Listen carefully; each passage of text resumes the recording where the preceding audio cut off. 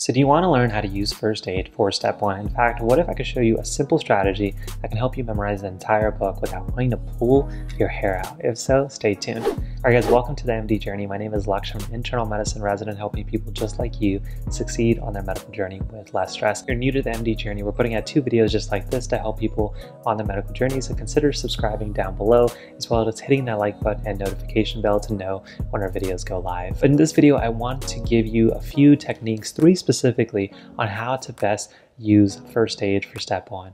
And after going through this video, if you feel like the tips helped you out, then go ahead and check out our ultimate guide on the blog, uh, which I'll also link down below. It's about 5,000 pages on how specifically to use first aid. And after that, if you enjoyed the tips in this video, then consider checking out the full ultimate guide on the mdjourney.com, which is thousands of words of tips and advice exactly how to use first aid.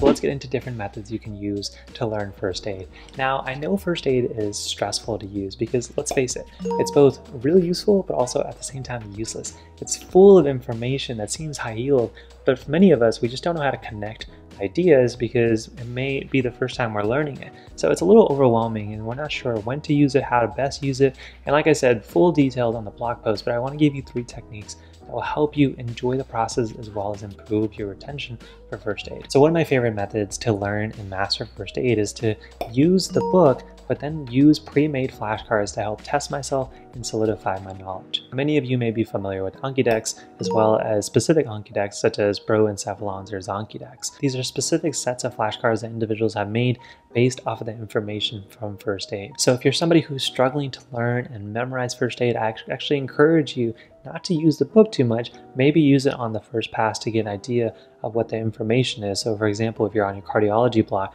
go ahead and read a few pages of the cardiology section. Usually the way first aid is set out is that the initial few pages that are very intro related. So for example, if you're on cardiology, you may be learning a lot of physiology and basic principles that are involved in cardiology before you get into the pathology and stuff. And so then what you can do is you can go ahead and find the related flashcards based off of the information you've already learned and saw for the first time and put them in a specific personal deck and continue to add them over time as you go through the book you start to add flashcards. And this is a nice fun way to memorize things as well as understand relationships because a lot of first aid is a combination of tables and diagrams and really you have to understand how all of them interplay versus just memorizing individual facts. Now method number two is what I call the high yield detector. Essentially what this means is a lot of you may be struggling with understanding what's high yield and low yield in class and you're also trying to figure out how to study for step one. There's just a lot of things that are occurring and stresses you out. So one of the best techniques you can use is when you're preparing for a class, when you're about to start a new class,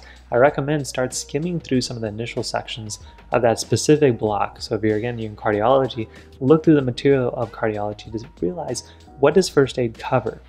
Because that's going to indicate to you this is important, this is something I need to both know for my class as well as step one. And this can help you when you're note taking as well as when you're preparing and reviewing for exam because now that you've seen what's high yield on first aid, whenever you're reviewing a class syllabus or lecture slides or a PowerPoint, you know, you may not be focused as much on the details. Instead, you're going to look for those repetitions of material that used to be on first aid and also show up on your class material. Those are definitely what you would be considering high yield. And then you can use other techniques to focus on learning those getting the highest grade possible, also doing well and preparing for step one at the same time, and then later on coming back to those little bits of details that maybe you didn't catch the first time around. So if you're somebody always asking, I'm not sure what's high yield or what's important, you can use a high yield resource for step one, like first aid, use that as your reference, and then use that to guide what you consider to be important from your class material. And before we get into tip number three, which is personally my number one favorite, uh, quick favor, if you're enjoying this video, if you're enjoying the tips, go ahead and support the video as well as the channel by hitting that like button. That's truthfully and honestly, any small form of support really helps the channel as well as this video, so go ahead and smash that like button. But let's get into tip number three and method number three, and this is what I call the calendar system. Now it goes down into a few steps, but step number one is you want to go through the specific material for a specific organ blocks. So we'll continue to use cardiology for this instance. Essentially what you want to do is you want to look through all the different major tables and diagrams and kind of give them a title. So you may have a diagram about the Starling curve. You may have a diagram about the different types of you know cardiomyopathies um, and you may have a table about something else. Um, essentially what you want to do is you want to create a list of all the different diagrams and major categories that first aid may talk about. You can honestly just use the title that they use in their graphs and their tables. Now, the second step for you to do is you want to go ahead and assign yourself specific days to do three of five of those topics. You can go down the list, you can randomize them if you want,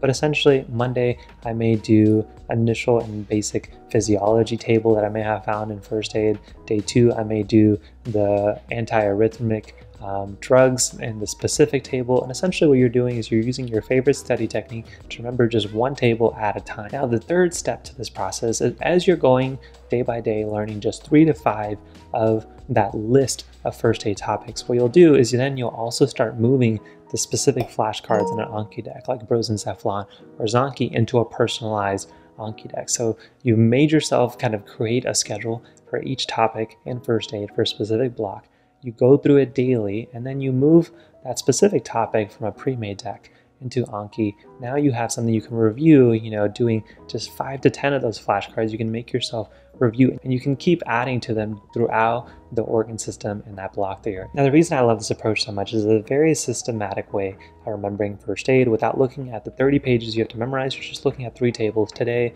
three tables tomorrow. And then in addition of adding the Anki method to it and adding a personalized step one deck, the nice thing is, is that as you go from one organ system like cardiology to then pulmonology, then renal, that card and that you know deck of step one cards is going to increase. So you can constantly just quiz yourself by doing maybe five or 10 a day, um, keeping yourself fresh. And again, memorizing step one material from first aid without really feeling like you're forcing yourself to do it. Before we end, I also want to give some honorable mentions because there are some methods that many people recommend that are effective.